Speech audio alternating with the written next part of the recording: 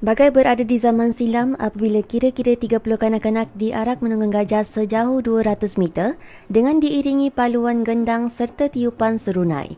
Mereka yang lengkap berbaju Melayu dan bersongkok didukung bapa masing-masing yang turut bersemuta menjadi simbolik kepada acara menunggang gajah yang pernah dilakukan zaman dahulu kala.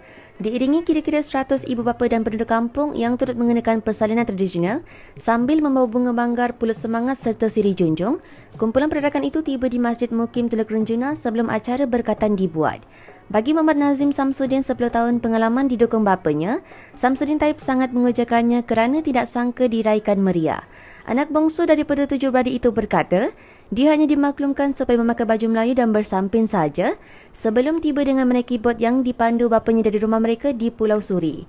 Katanya sebaik tiba di jati kampung Teluk Renjuna, dia melihat pelbagai persediaan dibuat dan lebih mengujakan apabila suasananya seperti zaman dahulu. Sementara itu, Ketua Program Merangkap Pengerusi Prihatin WK Faizah Kemal Zaman berkata, program percuma itu diadakan buat kali kedua dengan kerjasama Jabatan Kebajikan Masyarakat JKM Tumpat dan Pejabat Kesihatan Daerah Tumpat serta pengurusan masjid.